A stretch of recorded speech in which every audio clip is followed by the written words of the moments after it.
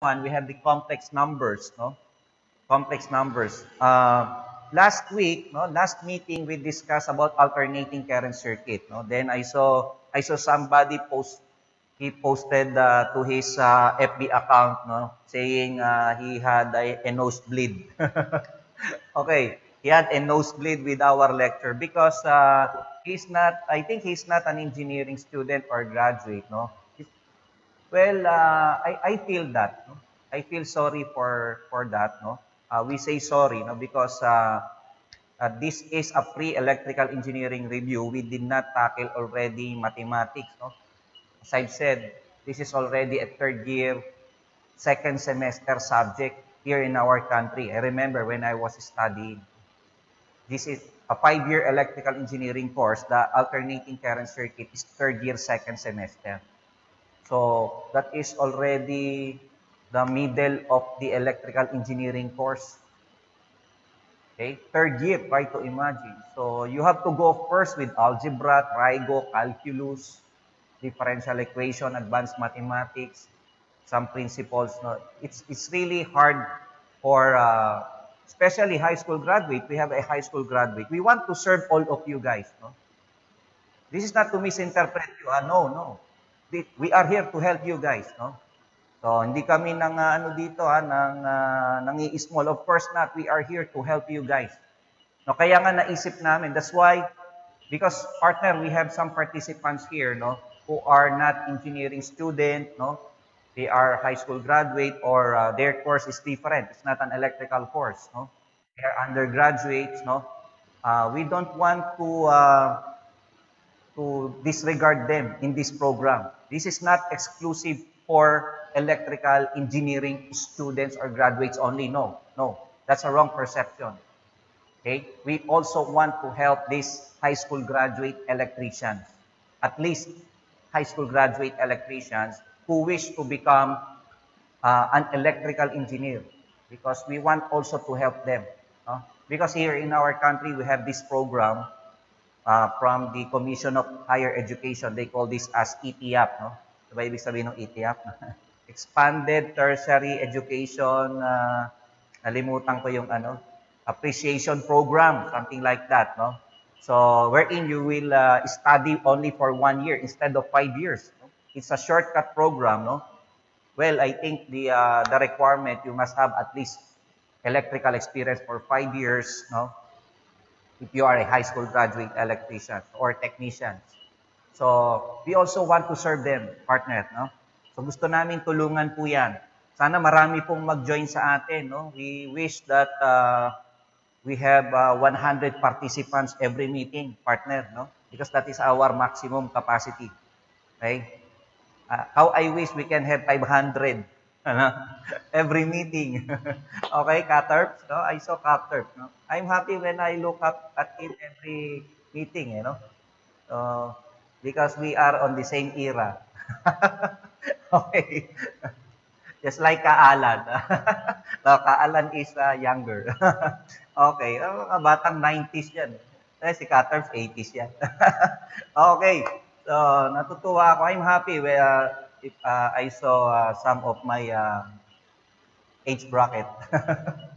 well, I have to apologize to our non-Filipino audience because uh, I'm just trying my best to speak in English. No, I'm not that well versed in speaking the language. No, so uh, I am a Filipino, no, from the land of Manny Pacquiao, our national hero. Ah, no, no, it's not. No, it's a Dr. Jose Rizal. Okay, so okay, so we started alternating current circuit. No? Listen everyone, especially high school graduate electricians. Do we have uh, like that, that participant today? May I see if you are that or you just study for one year electrical or less than one year, you studied in TESDA, but you have long experience in electrical, but you wish to become an engineer. Who was that? Who was that? Will you raise your hand? Meron ba tayong ganong participant? High school graduate siya pero electrician siya, no? O kaya undergraduate. Do, do we have that? Raise your hand. Who are high school graduate electricians here? Or technicians? High school graduate, no? None?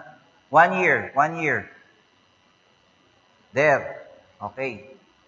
One year. Electrical course. Electrical course. Okay. So, even though you are, you have one year education, no? Uh, if that is in electrical, still it's not enough, no? If, if you want to become an engineer. Okay, it's a different course actually. No? This is a uh, one of the hardest course. But you can, you can. You can be. No? Kayang-kaya nyo to. Okay. Uh, I have to apologize to our electrical engineering students, especially if you are already finished with the subject, advanced mathematics. You are fourth year, fifth year, or graduate of BSEE. I apologize no, for uh, for today because maybe this is a quite boring for you. No? This is quite boring for you. Uh, if you will, uh, pwede naman kayo mag-leave. Kung tingin nyo, alam ko na yung tinuturo, no? magaling na ako. No? Pwede naman kayo mag-leave. Okay? You may leave if you don't uh, want to join no? because uh, this, this will find you uh, so easy for you. How, how can I express this in English? No? Uh, maybe not fit to your uh, ano, to your taste no because this is quite elementary for you no But this is already part of advanced engineering mathematics, no? So, is it okay with you guys, no? I will tackle before I continue AC circuit because in AC circuit, you really need a knowledge of advanced mathematics. It's, it's quite for me to express AC circuit to all of you without knowing the mathematical portion. Is it okay with you? I will discuss it today and next meeting. Will you thumbs up? Okay ba sa inyo yon yung gagawin natin? Okay ba yung idea? Actually, gagawin natin para sa mga, yon one year nga, nag-aral siya, one year electrical eh. Meron ba silang subject sa, sa ano, advanced math ng one year? I think wala, no? Kasi third year na nga yung advanced math natin eh. I remember, advanced engineering math is a third year subject, no? For a five years electrical engineering course, third year first I think first or second semester yan, you know. Ay, sec- second semester din kasi ano yan, differential equation yung first semester. I still remember that. Why? Because I am a professor. no, for more than 20 years up to now. So, that's why I know it. I teach to so many universities. No, I teach in Mapua Institute of Technology. I teach in University of the East in Caloocan campus. that happens to be my alma mater, no? UE Caloocan. Okay? Uh, I teach also in Adamson University, Rizal Technological University, the Technological University of the Philippines, Taguig Campus. Okay? And uh, so many schools that uh, I'm conducting, we are conducting review program and uh, seminars no, to these different schools. Uh, as far as uh, in Baguio, in the north, and, uh, and in the south as far as in uh, PUP Quezon. No? So, nakakapag-seminar tayo dyan no? bago mag-lockdown sa mga eskwelahan na yan. So, di naman po maituturing na uh, pipitsugin ang inyong pinapakinggan. Ano? So, okay? So, huwag natin intindihin yung mga nambabas natin dyan. Okay. So, Okay. Let's go now to our topic. Okay. Let's go now to our topic.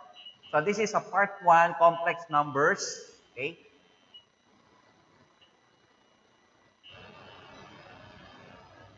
It's important to understand complex numbers because impedance, voltage, and current of AC circuit are best expressed in terms of complex numbers. No? So, impedance, voltage, and current. Kasi yan, naka-complex number yung mga yan. No? Circuits calculations are simplified when using complex numbers. Okay? So, it's really important. No? Siguro, yun yung medyo konting mali natin. Sana nga dito muna natin simulan, tinimulan eh, no? bago tayo nag-AC circuit. Well, anyway, no? Uli man daw, ano sa Tagalog, sa dating Tagalog, partner, uli man daw at magaling ay huli pa rin. Tama ba yan? Ah, hindi. Din. Okay. Anyway, lip pa, uh, five items pa lang naman yung ating nasusolve. Okay. Definition of complex number. A complex number, let's say represented by z, by z, has the form of x plus jy. Okay? Well, you may uh, screenshot this in your cell phone, if, if you have your cell phone, but not the screen of your desktop, no? okay? So, x plus jy, where x and y are real number. Okay, again, I will apologize to our engineering BSEE students who are finished with this subject, advanced math, and to graduates of BSEE. Okay, the standard of my teaching today up to next week is not an engineering uh, high level, no.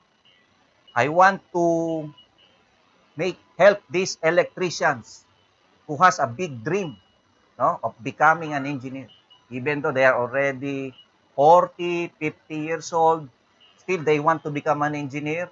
I, I'm uh, I'm happy for them. No? They still have that uh, desire no, to become an engineer. Okay? So we want to help you guys, no? not only the young uh, BSEE students. So, okay, the Z is in the form of X plus JY, where x and y are real number and j is the unit imaginary number. It is conventional to use a bold-faced letter symbol for all complex numbers. In complex number,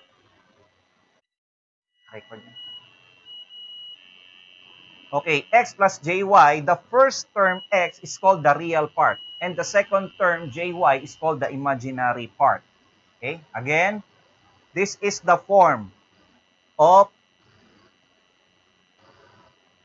Okay, maganda nga partner. No? no? This is the form of x plus jy. Actually, this is equal to z. To z. x plus jy.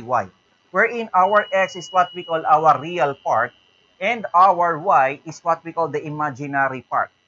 Imaginary part. Okay, Imagine our x and y axis in algebra. This is our x-axis. This is our y-axis in algebra. Okay? So, this is our, the x-axis is what we call the real axis for real number. No? The imaginary axis is for imaginary number. The one that has j or i. In our calculator, it uses i. By the way, you should I will, that's why I note this in the Facebook. You have to bring your calculator with you there. Do you have your calculator, guys? May I see your calculator? Everyone, will you put out? Show me, show me, come on. No, that's not calculator, that's cell phone. okay. Thank you, thank you. Especially, your calculator must be at least 991 ES Plus of Casio. Okay. maybe we can uh, ask Casio to uh, because we are promoting our uh, de their calculator okay uh, okay hello Casio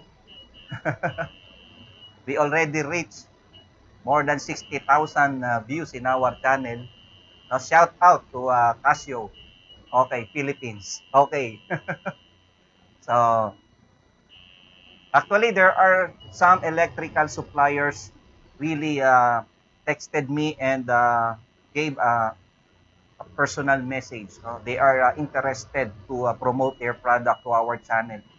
So let's have a big hand for that. Thanks be to God no? for those uh, ano nangyari, partner. Ah, okay. So, abangan nyo ha, abangan nyo. Ito, pangako namin sa inyo to. This we promise, no? We are inviting electrical suppliers, no?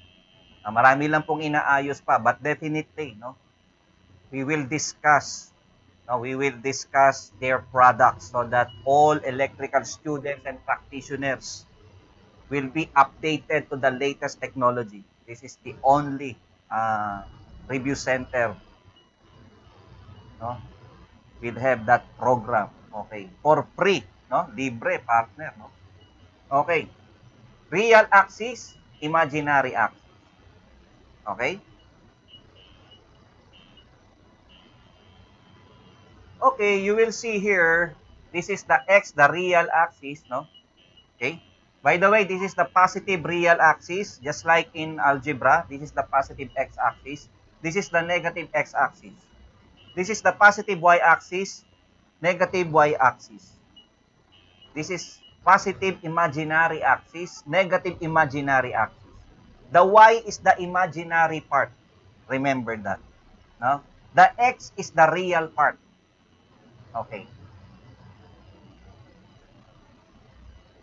So, well, this is the plots of a complex number wherein we plot uh, different, uh,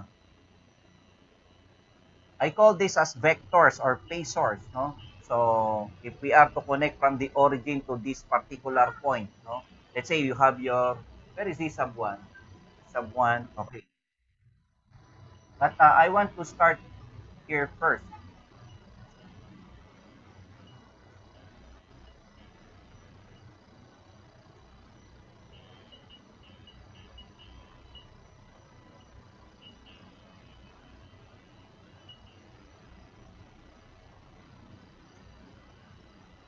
Okay.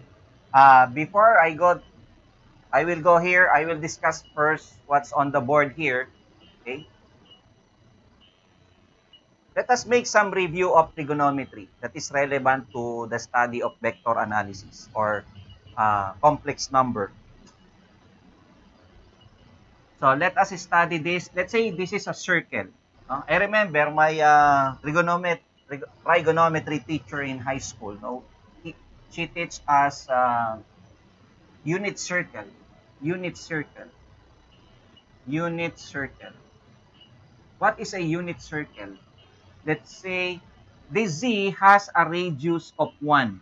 Assuming, just assume, this is our x, our y, then our z. No? The z is what we call, this forms a right triangle. This is 90 degrees. This is the angle theta, the angle between x and y.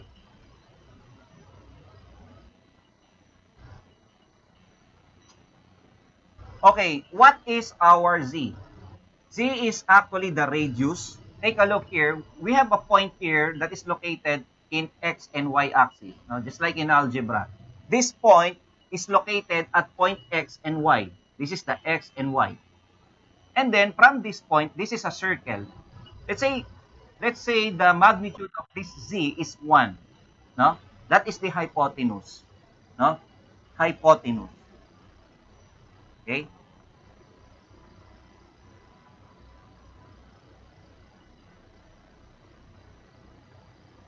Okay? So, our x is what we call the adjacent. Adjacent. Our y is what we call the opposite. Opposite. No? Remember, this is our angle theta. No? From the Greek alphabet theta. Okay? This is our angle. Okay? So, here, this is our theta. No? We have SOHCAHTOA. What is SOHCAHTOA? I already written SOHCAHTOA. Okay, what is SOHCAHTOA? We have sine theta. S is sine. O is opposite. Where is opposite here? This is our O, the opposite. Our adjacent is A. Our H is hypotenuse is our H. Remember that. No? SOHCAHTOA meaning opposite that is equal to the opposite over hypotenuse. Opposite over hypotenuse. So we have here opposite over hypotenuse. What is the opposite for sine function? Sine function is opposite. What is our opposite? Here, we have our y. We have our y over hypotenuse, which is our z. y over z. Or simply, y over 1. Or just simply y, isn't it? Sine function. Then we have here our cosine theta. What is our cosine theta? Here, adjacent over hypotenuse. Adjacent over hypotenuse. What is the adjacent? Adjacent is our x, x over z. x over z. So, our, we have our x, our z is simply equal to 1. So, therefore, it is equal to x. Okay? What is our tangent? Tangent theta. So, here we have the opposite. No? We have the opposite. Opposite over adjacent. No? Opposite over adjacent. Okay? Opposite, what is the opposite here? Again, our opposite, yung katapat. No? We have our y. Adjacent is our x. Okay? Adjacent is our x. That's why it is y over x. Take a look here, guys. Sine theta is already equal to y. So therefore, this y is sine theta. Our x is equal to cosine theta. So therefore, our sine theta over cosine theta is our tangent. That is our tangent. No? Okay? So, these are three, important trigonometric formula in uh, in this graph, no? This right triangle, the SOHCAHTOA, no? Okay? Of course, if we have our uh, uh, cosecant, no? Okay? If we have cotangent, no? Okay? If we have the secant, so that is the opposite of these three. Okay? So, but these three are the most important in electrical. Okay? Those three. Okay. So, let's continue.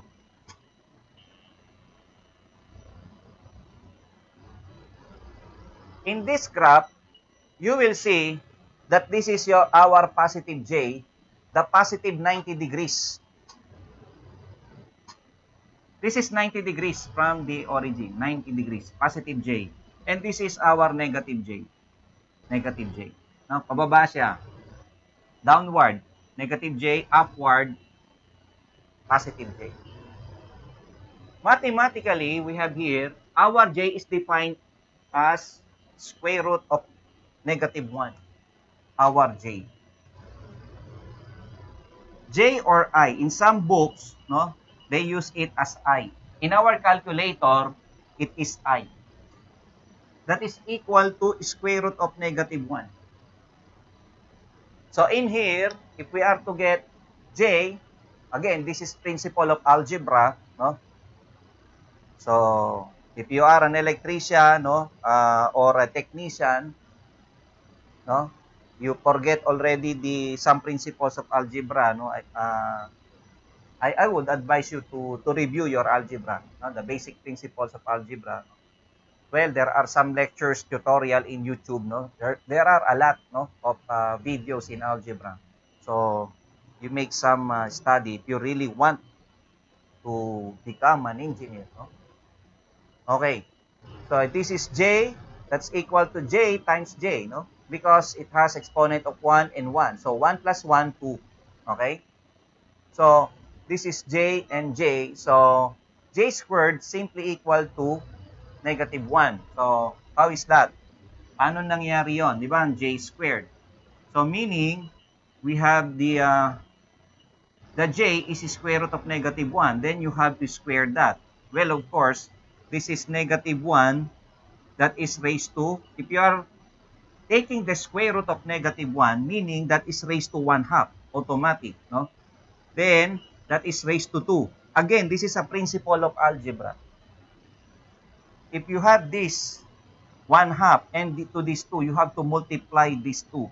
If you are to multiply these 2, 1 half times 2, okay, this is just cancel. No? So, you will have here negative 1. Negative 1. Okay? So, we have here j cube. The j cube, take note, we have a j cube here that's equal to j squared times j. Because this is 2 plus 1 here. Automatic, there is 1 here as exponent. You're going to add. The same base, you have to add. 2 plus 1. 2 plus 1, use your calculator. Okay, 3. Okay? So, j squared is negative 1. Isn't it? Negative 1 times j is simply negative j. That's simply negative j. Okay? j raised to 4 is j squared times j squared. Again, what is our j squared? That is negative 1. So we have negative 1 times negative 1. So of course, from algebra again, if they have the same sign, negative, negative, this will become positive. So that's why there is 1 here. There is 1. What about here? Take note that j raised to 4 is equal to 1. j raised to 4 is equal to 1. Okay? So we have here j raised to 5. No? j raised to 5 It means j raised to 4 times j raised to 1. So we have 4 plus 1, we have 5. In it, please listen. 4 plus 1, we have 5. Okay? That is why j raised to 5 is j raised to 4 times j. That is equal. Again, what is j raised to 4? j raised to 4 is equal to 1. 1. Okay? So, 1 yon, No? So, that is equal to J. Okay? Is equal to J. So, take a look here in, in, uh, in this graph. What is the coordinate of this? That is, this is a unit circle. This is simply 1, right? The radius, this is the z encircling, no? So, siya yung pinaka-radius, di ba? Yung z natin, that is the radius of this circle. This is the center, then you have your circle here. This is the radius. Of course, this is also our z, which is the radius 1. And what about this from algebra? This is negative 1, isn't it? This is negative j. Okay, guys, take a look here. If you have your, again, we'll start with j again. Listen, if you have your j, positive j, that is your 90 degree turn. Let's say, that is your 90 degree turn. This, this, no? From this point up to this point, that's 90 degree turn. That is your j. If you have your j squared, another 90 degree turn, no? So this is j, then another j here, another 90 degree. So you will have, what is this now? j squared which is equal to negative 1. Sinit? So ito yon. This is negative 1. Then, we have here j cube, meaning another 90 degree turn here. Another 90 degree turn. So this is what we call the j cube, which is equal to negative j. j cube is negative j. Okay? Then another 90 degree turn, there, that will be, this is j, j squared, j cube, j4 j raised to 4, and that is simply equal to 1. You see, this is 1 unit. Okay? So that is 1. Then if you want to get another j, j raised to 5, this is 4, then another term, 5. So, this is j raised to 5, which is equal to j. Okay? j raised to 5. So, meaning that is a 90 degree turn if you have your j in a uh, counterclockwise direction. No? There you are. Okay? In here, we have a magnitude of 3. The one I showed to you, ma magnitude of uh, 1. No?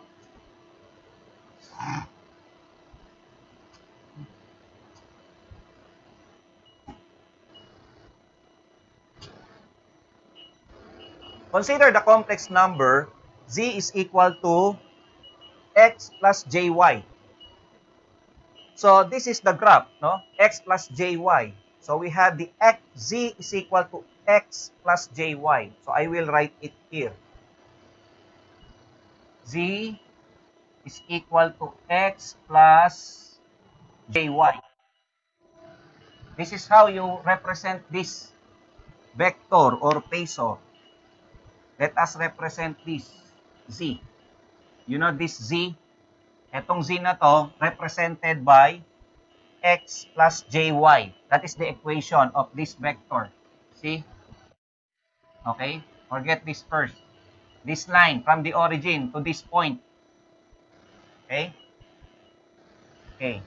That is what we call the rectangular form. Okay? Rectangular.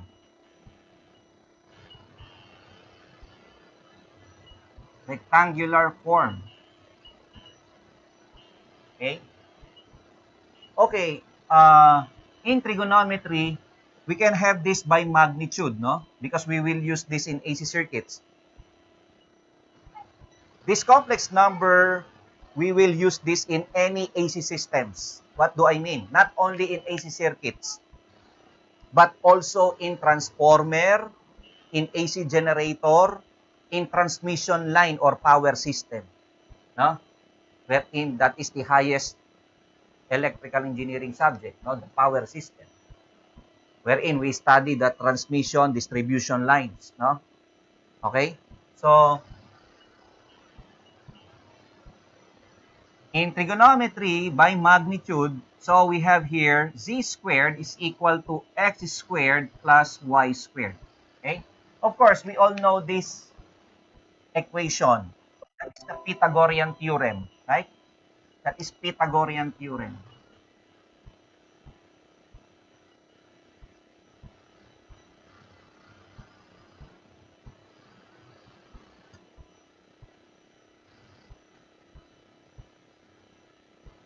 Pythagorean theorem.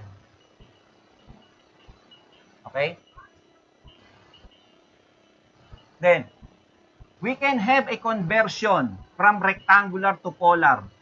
I mean, what is polar, sir? This is a polar form. Z is equal to magnitude. If you see this, this is absolute value, meaning that is the magnitude. No? Magnitude. Okay? So let's say, if we are to put here plus or minus, because uh, we don't know yet whether it is positive or negative. We can have it plus or minus theta. This is the angle. This is what we call the polar form. Polar form. Okay? So, I mean, we can have some conversion from rectangular to polar or from polar to rectangular. That we will discuss today. Okay? Up to next week. No? Okay, I will have two meetings for uh, complex number for everyone. No? Okay.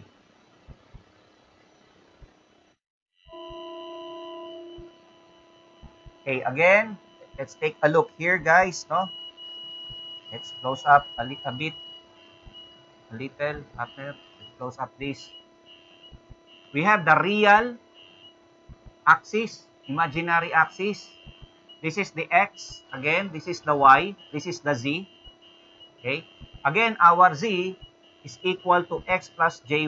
That is in rectangular form. Our z is equal to the magnitude of c. Then, bar angle theta. We read this as bar angle or cis. C-I-S. Cis. No? Okay? We read this as cis in the university. C-I-S. Pag meron bang sister, may bro ba? Ay, wala. I-edit mo yun. Okay. So, ito ha. So, what do we mean, what is theta? Of course, that is the angle. That is the angle. The angle or what we call the argument. Argument. What is Z? If you see this absolute value, that is what we call the magnitude. Magni that is the size. No? The dimension, magnitude.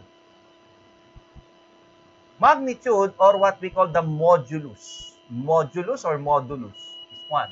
Ever you uh, pronounce it. It depends whether if you are in uh, in England or in the US. No? They may have a different pronunciation. Okay. A little technique. Another term for angle, argument. You see, starts with the letter A. No? Angle, this is argument. Okay? absolute of z is what we call the magnitude. Starts with the letter m. That is also your modulus. You see?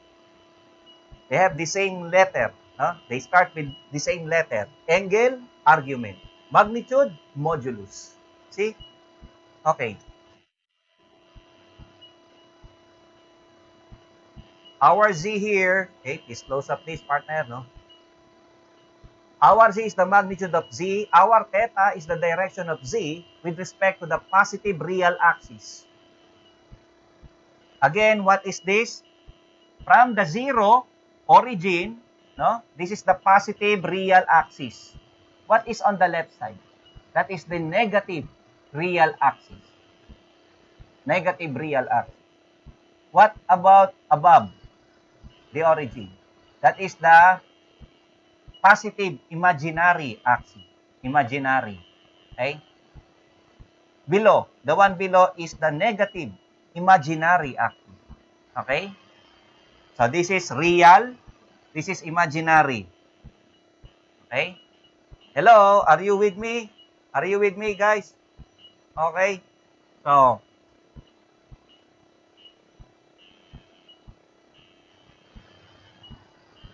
let's go here. We really need some trigonometry here. To get x, the one we studied before, x is equal to z cosine theta. Okay, let's take a look. Let's go back again here. We said that cosine theta here is equal to x over z. Okay. I will write it here. Cosine theta is equal to x over z. Therefore, I will just cross multiply the z here. By algebra, I will cross multiply here. So that will become z cosine theta, right? But uh, I can have first our x. So therefore, our x will be our z cosine theta. Right? did you get that? Okay, so just cross multiply the z here. Iaangat mo lang to dito. What about the y? Okay?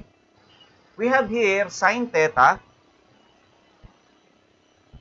Sine theta, that's equal to, sine theta is equal to what? Uh, y over z. y over z. So therefore, our y is equal to z sine theta. Z sine theta. Remember that if that is x, no?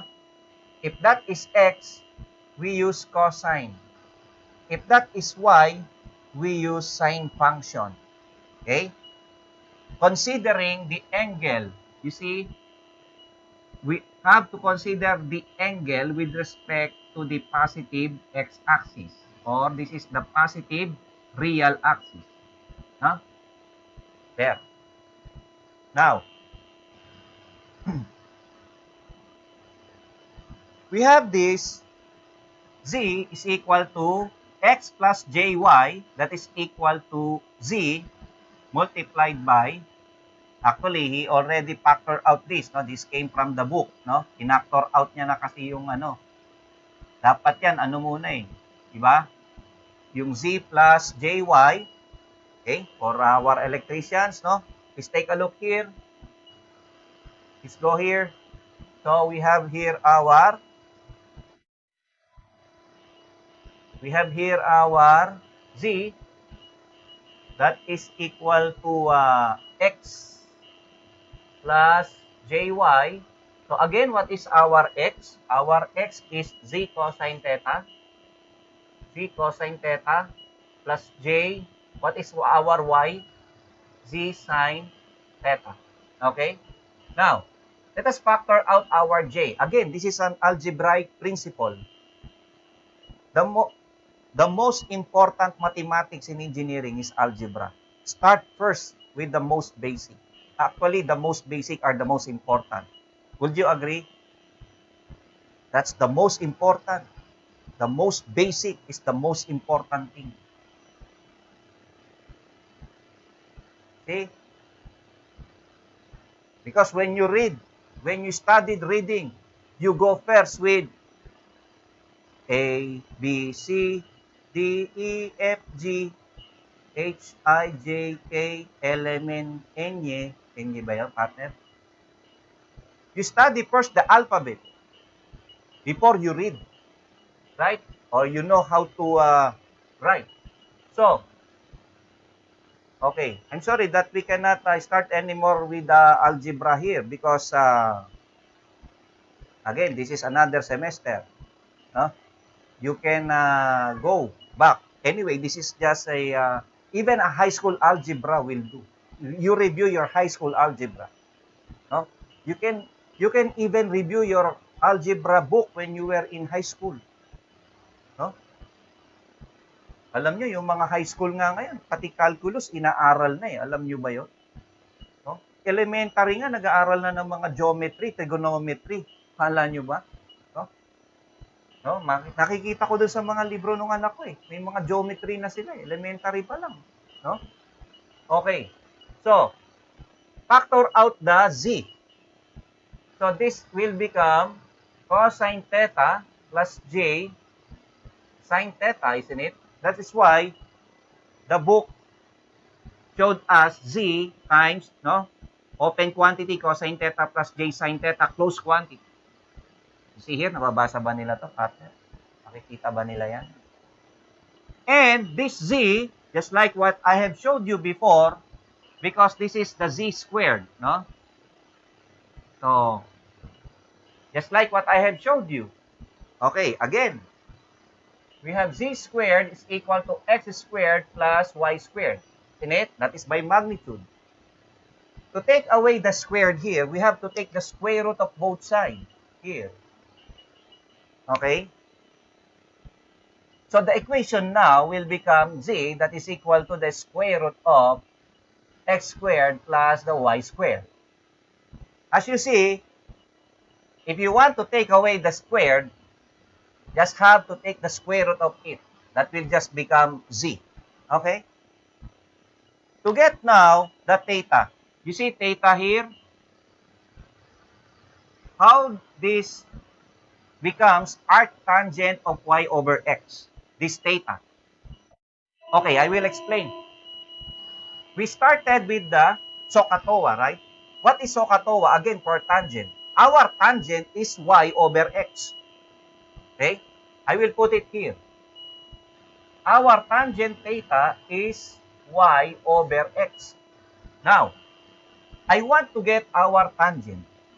Our theta, I mean. If you are to get your theta, no? Make it as the arctangent. Arctangent, it is uh, tangent raised to negative 1 here. No? Let's put a parenthesis here. This is y over x. y over x.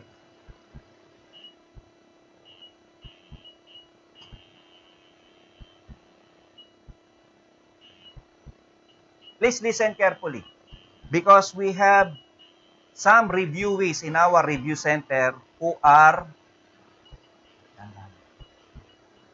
who are study, study in EPAP program, a one-year electrical engineering program. They said that, uh, sir, we did not study algebra there. We started with uh, advanced math. It's up for us to uh, explore to this subject.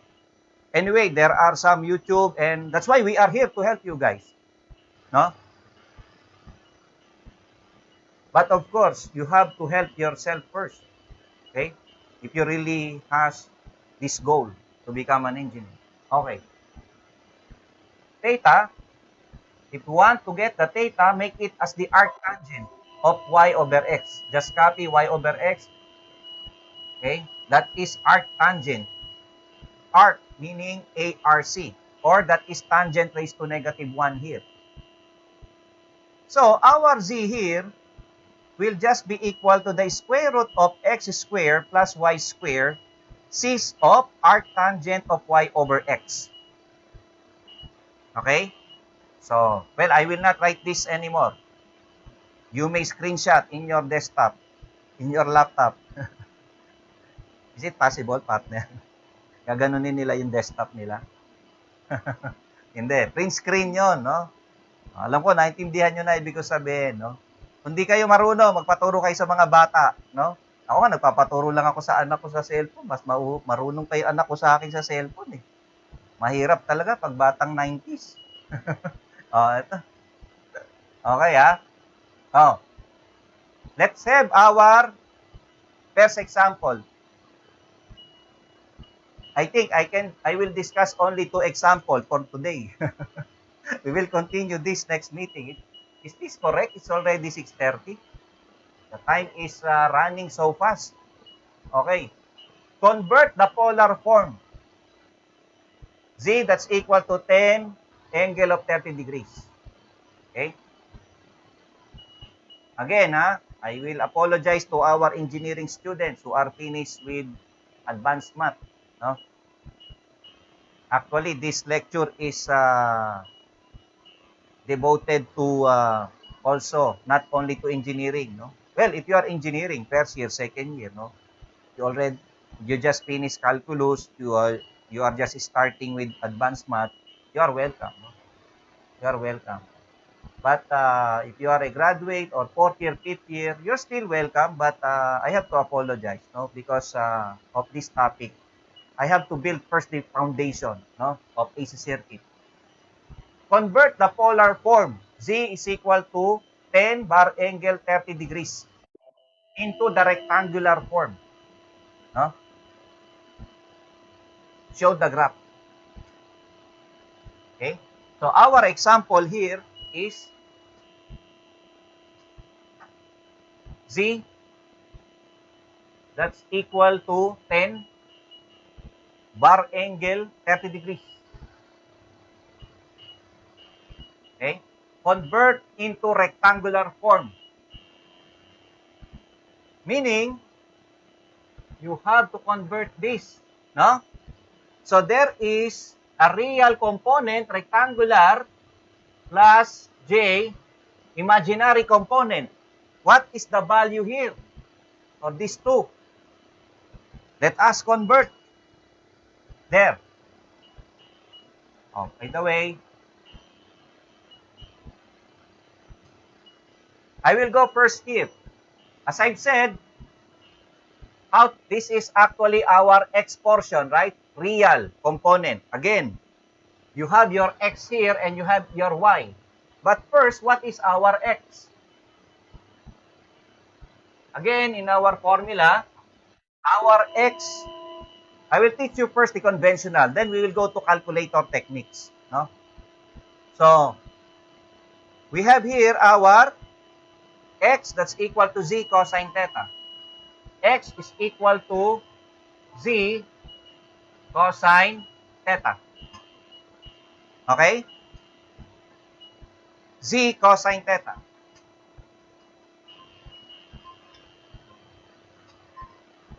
So, we have here we have here our z.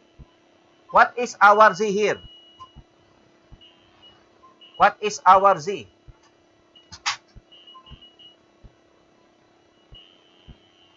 What is our z here?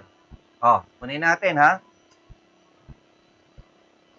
What is our z? Our uh, z here is x is equal to 10 then we have to get cosine of 30 degrees. Okay, in your calculator, okay, mode 1 in your calculator, okay, you press 10, then multiply, multiplication, 10 times cosine, cosine 30 degrees. Press 30, then close parenthesis. No? Okay. Nakikita ba nila? Para makita ng ating mga technicians. Okay, ito po ano? Okay, ganito po ha. O, sundan niyo po ako ha. Press 10. 10, then you press times cosine. Where is cosine here? Pataas ng SD. There, there. This is the cosine. You see?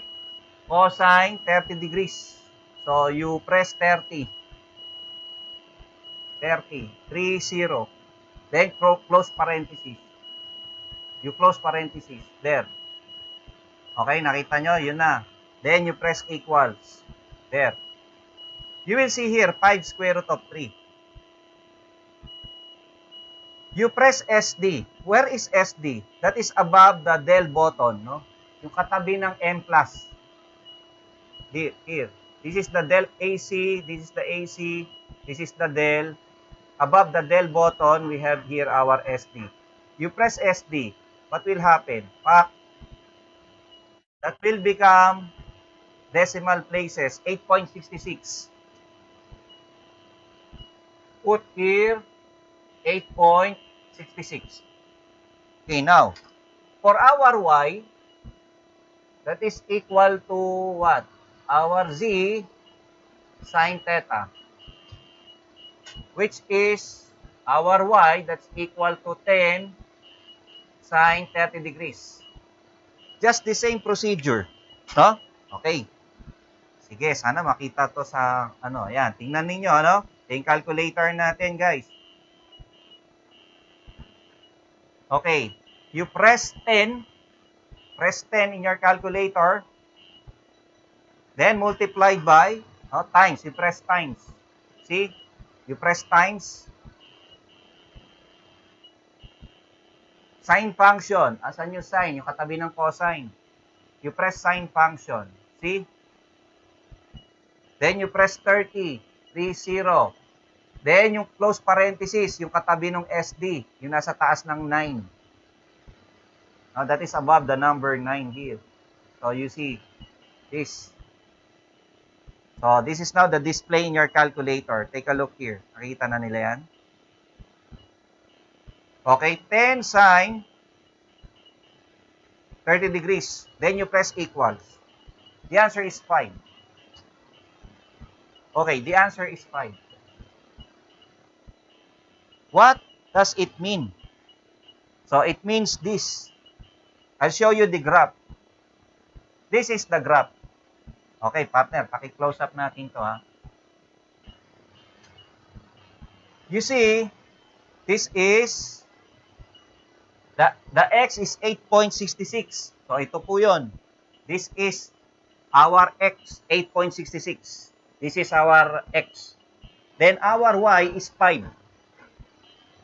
So you represent your z as 8.66 plus j5. Okay? Because your x is 8.66.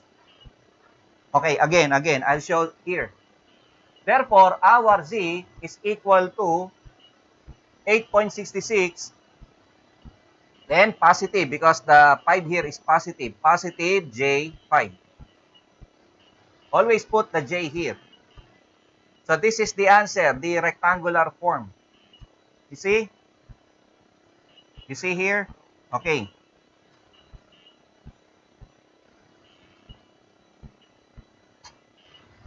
Okay, I'll show the calculator techniques. I'll show you the calculator technique. How is this in calculator? Huh? How is this? Actually, there are two ways. One is using the mode 1 in your calculator. use mode 1. You press mode 1.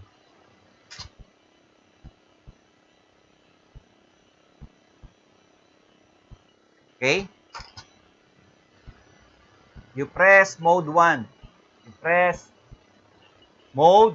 Yung mode natin, the mode is uh, besides the replay, the, the biggest button here. Mode 1.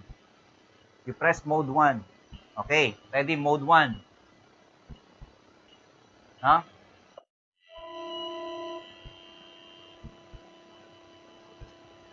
Okay. I will write first the command here, no? In your calculator. You press mode 1, meaning M1. M is mode, mode 1. Okay? Mode 1. Okay. Then you press uh, shift minus. You press shift and then the minus, no? That is besides the plus. Shift minus. Then the display will be direct. Isn't it? You will did you see the rec? Once you press mode 1, then shift minus, again, you press mode 1, then shift minus. So you will see now the rec. The display in your calculator will be rec and then the open parenthesis. He is asking you to input to input something here. So you input your 10. You press 10. Okay? You press 10. Okay, this is negative, no? Then you press 10. Then after pressing the 10, you press shift. You press shift. Shift, then close parenthesis. See this? Ah,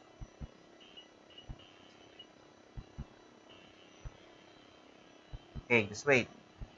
Shift, close parenthesis. You will see the comma there, right? You'll see the comma. So, 30. Okay? You press 30. Okay? Then, close parenthesis. Then, you press equals. Okay. 30, close parenthesis. Then, you press equals you press equals. You will see there the answer. So makikita nyo yung x, no? is equal to 8.66. Then your y, you just have, for you to see the y, you just have to press the arrow right here in your button so that you will see y. You see, the y is equal to 5. So just the same in our techniques here. Remember, no? You'll find difficulty first in calculator technique. But as time goes by, you'll become uh, what we call this uh, adjusted to it. You can uh, have some uh, uh, faster way of uh, solving the problem, no? Especially if you are always uh, having your practice at home, no? So you're doing it over and over again, no? You're repeating the process, no? And then solving, no? Looking at some books, no? Okay? Actually, there are so many references. Just click your cell phone. Okay, complex number in the Google, you will see a lot of lectures there, no? So many. No? But I would advise you first to uh, to uh, watch some still some lectures in uh, YouTube, no? Okay. And of course, this video, we are going to upload this video. You can watch this over and over again so that uh, it will be easier for you for the second time. Okay? So that is how you convert. Uh, that's how you convert. Sir, what about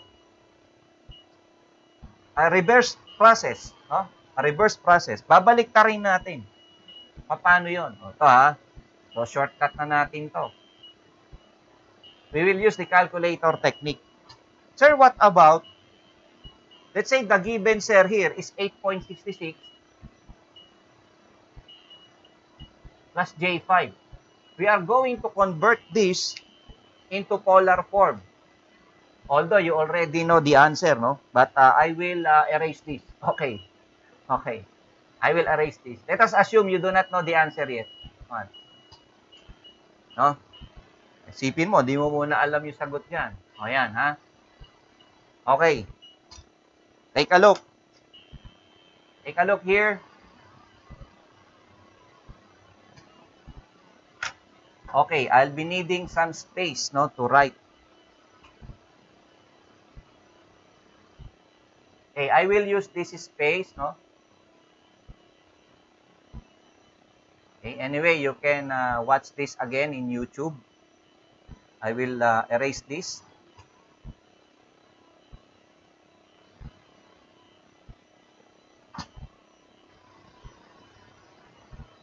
Again, you press mode 1. Okay? Mode 1. Okay, ah. Then you press shift Plus naman. Is it okay? I will make the shift as S. If you see I write S, it's automatic to be shift. Okay? So, shift plus. There. The display in your calculator will be pol. Pol means polar. And this. Again, again. Again. You, you press mode 1, mode 1. Shift, then plus. Plus sign, no? Plus. Sino nakakuha? Taas ang kamay. Naintindihan ba ako dito? Yung pinagdadaldal ko dito. Nagigets pa. Okay, sige. May mga nakakuha. Yung iba siguro, walang calculator eh. Yan. Si Mr. Arba. Mr. R, hello. Do you have your calculator there with you, Mr. R? Di tayo na ano, di yata na ano ni Mr. Na-stack up yata yung ano niya, internet niya. Andiyan pala si Sir Rolly ah. Hello, Sir Rolly. Oh, pakasipag talaga ni Sir Rolly, no? So, ito. Although although Sir Rolly is already a professional mechanical engineer, no? he is there, no? he wants to know some calculator techniques. No? Well, uh, well, it's because during his time, is this is not yet present. No? this is not yet available during the time, sir, no? isn't it? No? Then your time is, uh, I think your time, uh, well, it's not actually abacus. No? it's uh, slide rule, sir, isn't it? Slide rule. Slide rule. Is it correct, sir? Slide rule. Slide rule. Sir, Asa na Sir Rolly? Gusto kong makita si Sir Rolly. Ay, mahina yung signal.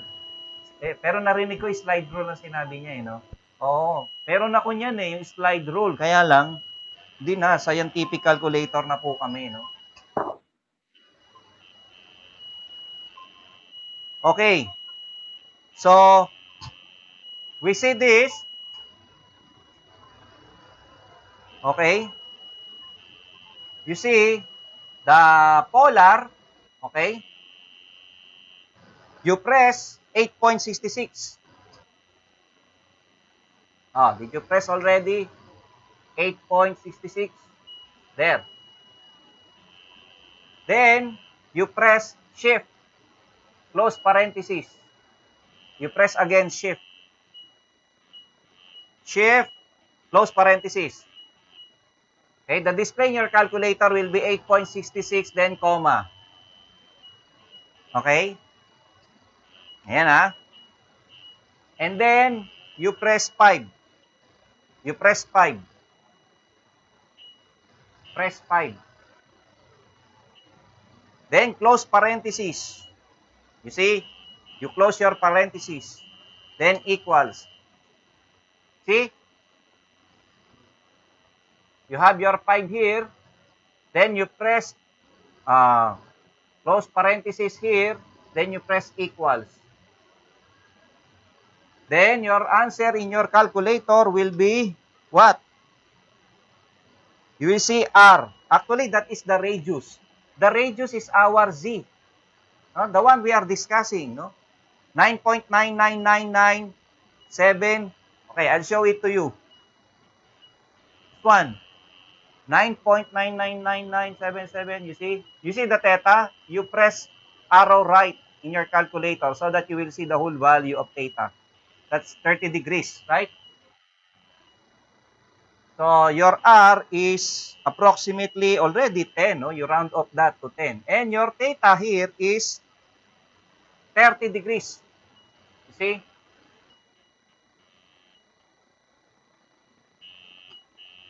That's how you are going to convert. Well, this is too long if you are going to make this in uh, in conventional way, no? Although you can do it also in uh, if you want to solve this conventionally, our Z or R, you have to make this as 8.66 squared plus 5 squared. Definitely, the answer here will become 10. Then our theta is the arctangent. Again, you will use your calculator here. Arctangent of y over x. This is actually our x and this is our y. No? That will become 5 over 8.66. This theta is also 30 degrees. Again, you will use your calculator here. Okay?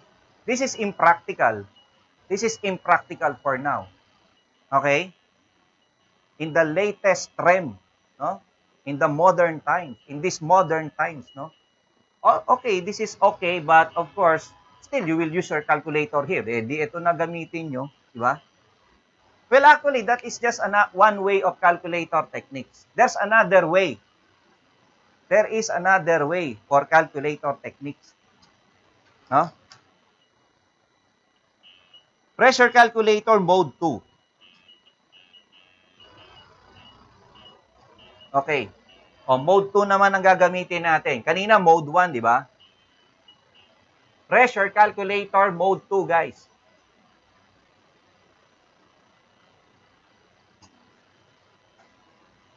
Press mode 2. Okay, sandali ah. Mas madali pag ako lang mag-isa eh. pag nasa kwarto lang ako mag-isa, madali lang, mabilis lang ako eh. Kaya lang, mahirap pag tinuturo na eh. Dali ah. So, mode 2, no? Di ba? Ah, okay. Ano ba yung gagawin natin muna? Iko-convert muna natin. Okay? Ano yung sabi natin kanina? We said that this is what? 10, 30 degrees. Let's have first from rectangular to polar. Rectangular to polar you press mode 2. Okay. If you press already mode 2, okay, then you press 10. You press 10. Okay? Then you press then you press shift negative. You press shift negative. What is where is negative, sir? Is that the minus? No that symbol in your calculator that is above the RCL. You see, number 7, this is number 7, this is the RCL, this is the negative sign. Not the, that, not the minus here. No, hindi po itong minus. Itong negative sign po. No? Nakukuha po ba? So, ganun ha. Okay, now, S S minus. Okay? So, the display in your calculator will be 10 bar angle, isn't it? Then you press now 30. Okay, I will press 30. Then you press shift. S is shift. Shift 2, okay? 2, okay? When you press your shift, you will you will see here, one is arg, no? Argument, two is conjugate. The three here is the uh, R. r cis of theta, the 3. Then the 4 is uh, a plus bi. So it is here. This is the rectangular form. The r theta is our polar form. So therefore, you press shift 2, 4. Okay, pakita mo to partner ha. 2, 4. Then you press equals.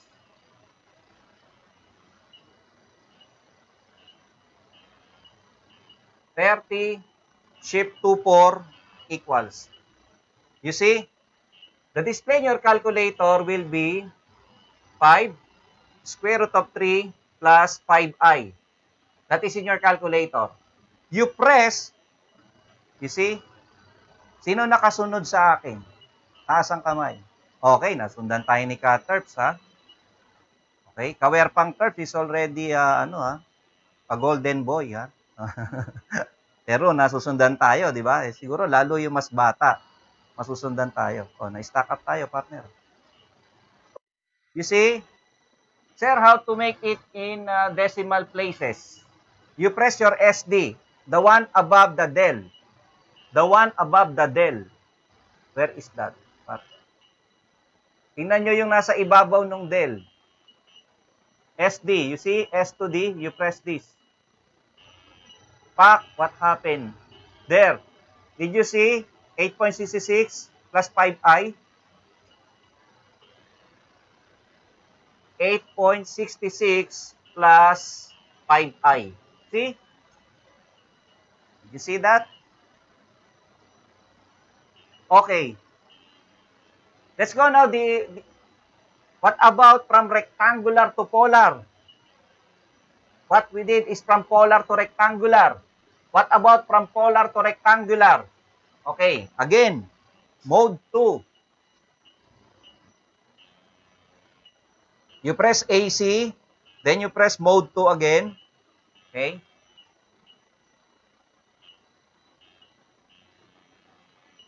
Mode 2. So you press 8.66. Na? 8.66.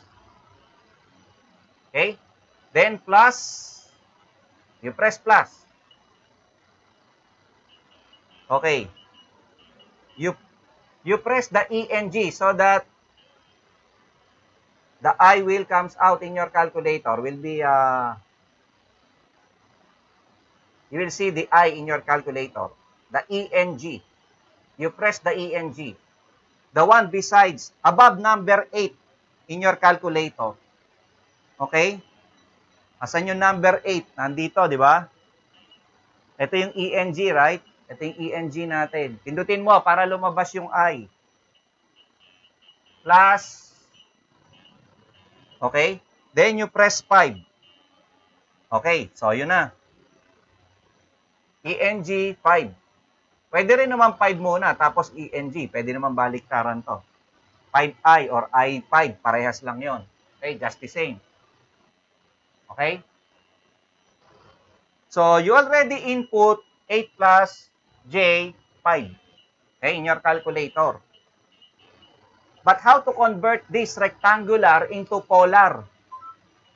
We will go to polar. No? Paano yon? So, you press shift to okay? Shift to 3 naman, no? Bakit? Kasi yung 3, 'di ba, yun yung r cis of theta. 'Di ba? Ito yung 3 natin. Makaka-aware pa, 'di ba? R cis of theta.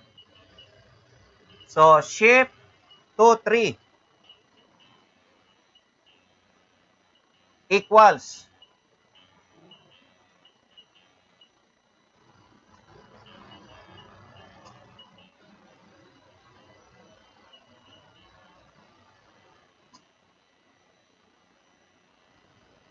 Okay, again ha. Okay, mode 2, 8.66. Okay, then plus ENG 5.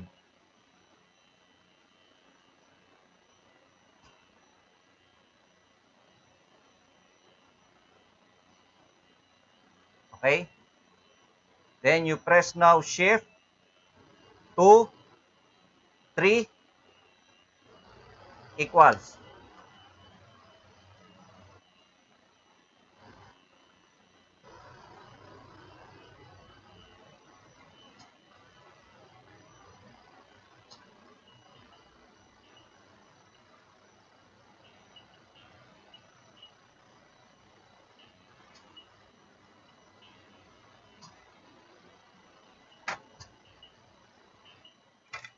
try in your calculator.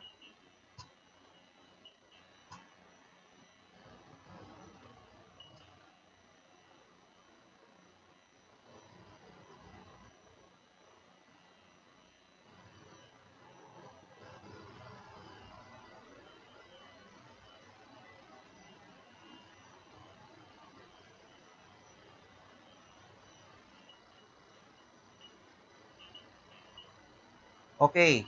So, what will be the display in your calculator? This is the display in your calculator. Once you press the shift 2, 3, okay, you have 9.999, so that is 10 already. You see the angle 30. Okay? Ayan. Harry Potter got ma the same answer. Hey, Potter. okay. So, you will see there that 10 bar angle 30 degrees also. That is our final answer. Okay? So, that is our answer. Huh? Okay, so therefore, our answer here will be letter D. Where is that? Mali yung ano dito, partner, ah, yung animation natin. Saan ba to? 10 angle 30. Mali animation. Letter C, ang ating sagot ha, is our answer, no? So it's just a mistake in the animation. Okay, letter C. Actually, the answer is already uh, found in the book here. This is the answer in the book. 8.66 plus J5, no? Okay? So we have our example number 2. Okay? Of course, we already answered that. Okay? Binaliktad natin, di ba? Yun na yung ginawa natin. Yun, letter D is the answer. Okay? Well, that's it for today, mga kawerpa. No? So, next meeting, we are going to study the uh, arithmetic operation, the addition, subtraction, multiplication, and division of complex number. No? You need some practice. No? Mathematics is uh, a lot of practice. No? You need a lot of practice if you really want to become an engineer. Spend a lot of time in uh, solving no problems no really takes a lot of time mathematics no? okay so and uh, okay let us read some uh,